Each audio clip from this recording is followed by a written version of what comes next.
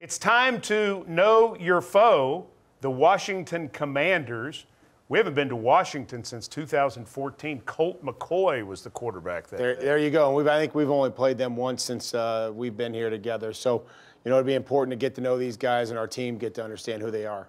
One and three coming off a loss to the Dallas Cowboys 25 to 10. Carson Wentz, a quarterback that you know. Yep, and it's a quarterback that, uh, you know, we just can't let him get hot. We got to get him off his rhythm, and he's got some really good weapons. Talking about Antonio Gibson out of the backfield, who can run it and can catch it. And then Terry McLaurin and Curtis Samuel having excellent years. They're finding ways to get these guys the ball. They're dynamic, whether it's down the field or, or out of the backfield, even sometimes where they put Samuel.